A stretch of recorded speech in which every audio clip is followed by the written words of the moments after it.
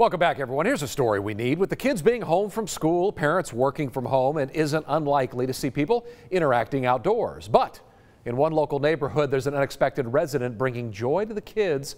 Texas Today anchor Heidi Alaga has our story. So everybody can get a Come on, Daisy.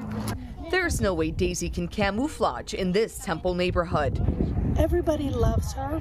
If you've ever been to the Northcliffe subdivision, chances are you'll see kids digging through this box. I like when I feed her and like she nibbles out of my hand. You would think Daisy was at a cafeteria. I love how her a lot. And as you can see, Daisy has no beef with the kids who visit her. All the kids love to come see her.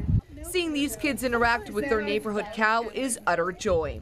Starting about 4 o'clock, we think that parents must be letting their children out of school, and suddenly, yes, we'll have pretty much a constant flow um, until about 8 o'clock at night. And during this time, we need to milk every happy moment for as long as possible.